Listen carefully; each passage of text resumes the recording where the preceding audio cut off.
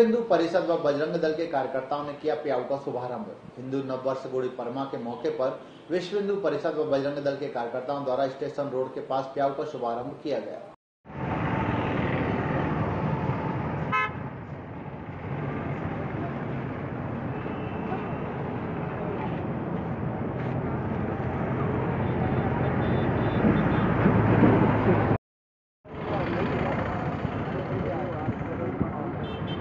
आज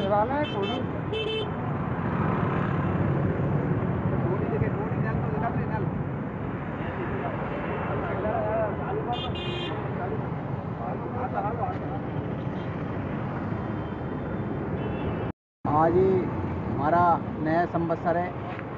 संवत्सर क्षेत्र में हमारी गुड़ी परमा के दिन से मनाया जाता है। तो नए संवत्सर में नए वर्ष में एक जनमानस के लिए और समाज के लिए विश्व हिंदू परिषद बजरंग दल जो काम करता है, उसमें प्याऊ चालू की है।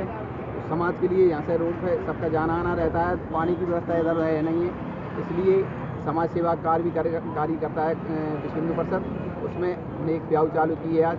तो प्रांत के हमारे क्षेत्र के सेवा के प्रमुख श्री अशोक जी अग्रवाल भाई साहब द्वारा उद्घाटन किया गया है और आज से प्याऊ चालू की है।